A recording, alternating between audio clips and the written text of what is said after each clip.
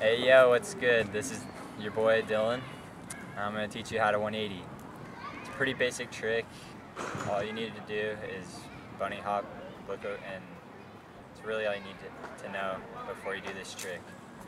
In order to 180, you have to pull up, leaning back a little bit, look over your shoulder, and spot your landing and stick it, pedal backwards to fakie, and roll out of it.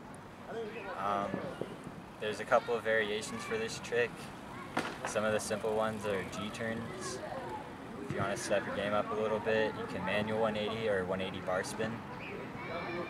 And if you're airing out of quarters, you can 180 turn, like air out turn downs and stuff.